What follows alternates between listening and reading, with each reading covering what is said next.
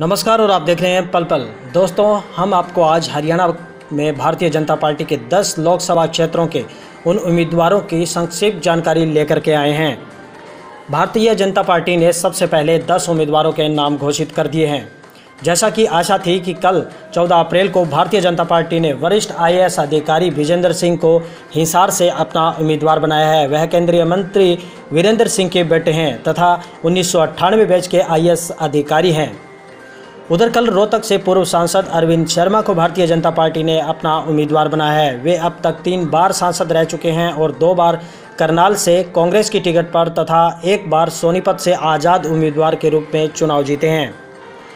इससे पूर्व भारतीय जनता पार्टी ने जिन उम्मीद आठ उम्मीदवारों की घोषणा की थी, उनमें से सिरसा की पूर्व आईआरएस अधिकारी सुनीता दुग्गल को उम्मीदवार बनाया गया था, जिनके पति राजेश दुग्गल आईपीएस अधिकारी हैं। उन्होंने 2014 में चुनाव लड़ने के लिए आई आईआरएस की नौकरी से त्यागपत्र दिया था, मगर उस समय हजका से समझौता होने के कारण वे सिरसा से चुनाव नहीं लड़ सकी थी। भारतीय जनता पार्टी ने गुरुग्राम के केंद्रीय राव केंद्रीय मंत्री राव इंद्रजीत को फिर से अपना उम्मीदवार बनाया है, जो कि हरियाणा के पूर्व मुख्यमंत्री राव बीरेंद्र सिंह के बेटे हैं। उनका परिवार हरियाणा के गठन से पूर्व ही राजनीति में है।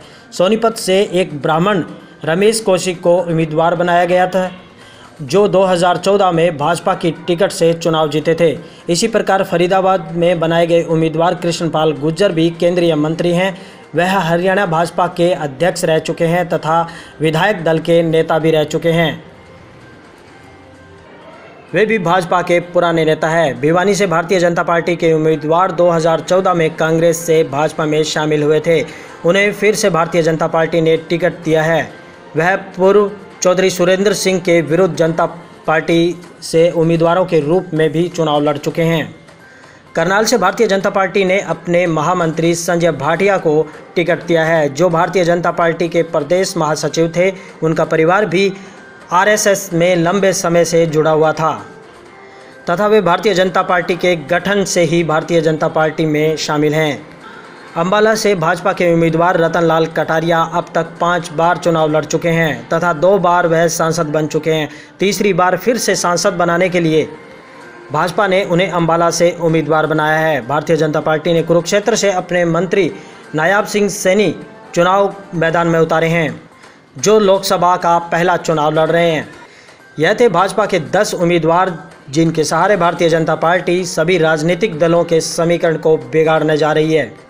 दोस्तों, भारतीय जनता पार्टी के दस उम्मीदवारों में से दो जाट, भिवानी से धर्मवीर सिंह व हिसार से वीरेंद्र सिंह, विजेंद्र सिंह। दो ब्राह्मण, सोनीपत से रमेश कौशिक व रोहतक से डॉक्टर अरविंद शर्मा। अनुसूचित अनुसूचित जाति से संबंधित अंबाला से रतनलाल कटारिया व सिरसा से सुनीता दुग्गल चुनाव मैदान में हैं। वहीं अहिर समुदाय से राव इंद्रजीत सिंह, गुरुग्राम से फरीदाबाद से गुज्जर, समुदाय से कृष्णपाल गुज्जर चुनाव मैदान में हैं। वहीं नायाब सिंह सैनी सैनी जाति से संबंधित है। संजय भाटिया पंजाबी हैं। इसी प्रकार भारतीय जनता पार्टी ने प्रदेश की सभी जातियों को प्रतिनिधित्व दिया है। आप देख पल पल की ये विशेष रिपोर्ट।